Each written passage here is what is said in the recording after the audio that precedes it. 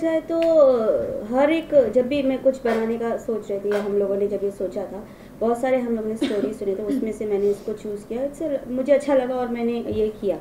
और इसके पीछे कोई स्पेशल रीज़न नहीं बताऊँगी। इट्स अ कोइंसिडेंस सिंपली और इसको हम लोगों ने चूज़ किया, इसके ऊपर काम किया और इसको और अच्छे से आपके सबके सामने प्रेजेंट किया। और आज हम लोग यहाँ पर being a female producer mean producer कोई फीमेल मतलब प्रोडक्शन ही करना इतना मुश्किल काम होता है। आप कितना प्राउड फील करते हैं कि यू प्रोड्यूस दिस मूवी और what was challenge to make this movie as a producer actually लोगों को लगता है कि प्रोड्यूसर्स जो हैं, वो उनके लिए सब कुछ बहुत इजी होता है या बहुत ये होता है। But being a lady producer मैं ये बोलूँगी बहुत डिफ़िकल्ट होता है। बहुत सारी प्रॉब्लम्स होती हैं।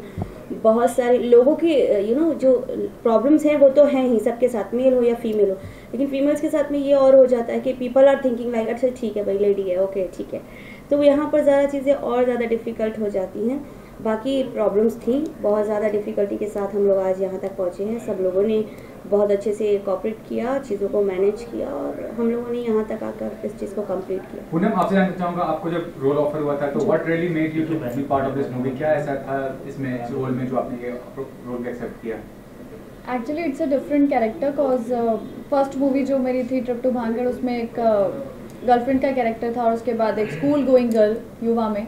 और उसके बाद अभी टीचर का कैरेक्टर प्ले करना तो थोड़ा डिफ़िकल्ट था और थोड़ा सा अट्रैक्टिव था कि एक मेरे को डिफरेंट जोन मिल जाएगा। और as an being a actor आपको आप जितना भी डिफरेंट कैरेक्टर प्ले करेंगे आपके uh, उसके एक्टिंग uh, के लिए बहुत ज़्यादा अच्छा है आपको सीखने के लिए कुछ मिलता तो है you are playing role of a teacher in the movie as such तो टीचर ना? जी।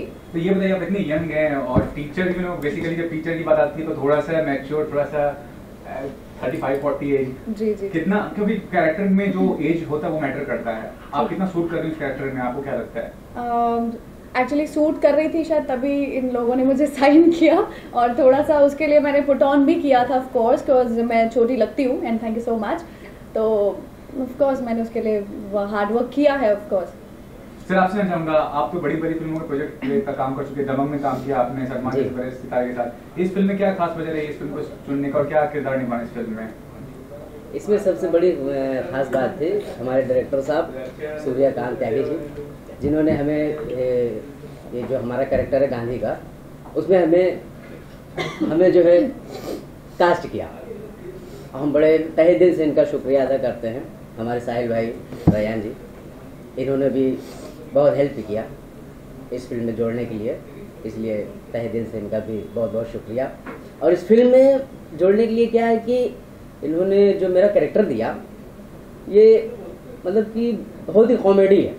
एक गांधी है जो एकदम सीधा साधा भोला भोला भाला सा बिल्कुल सर। अच्छा इतना भी है और हाँ भोला भाला है उसको कोई भी उल्लू बना देता है कोई भी बेवकूफ़ बना के चला जाता है कोई भी। और इसमें सबसे बड़ी बात है कि म्यूज़िक बहुत अच्छा म्यूज़िक है। गाने सारे अच्छे हैं। और जो गाने हमारे भाई साहब साहिल भाई ने गाया भी है म्यूज़िक भी अच्छा दिया है गाना भी अच्छे से गाया है। तो हम कहेंगे कि जीएसटी गलती सिर्फ़ तुम्हारी। देखना ज़रूर। नहीं तो गलती सिर्फ़ आप लोगों की हो जाएगी। तुम्हारी। ज़रूर देखना। अगर आप नहीं जाएँगे तो पूछना चाहूँगा कि जो डायरेक्शन दिया है आपने क्या मतलब